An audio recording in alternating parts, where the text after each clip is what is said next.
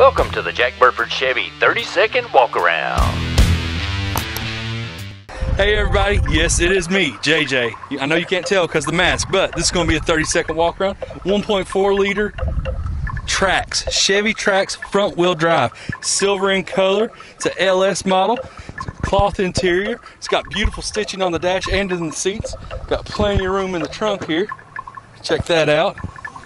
So you can get great gas mileage, still have an SUV, be up off the ground, have a great amount of storage, and being in a good looking vehicle.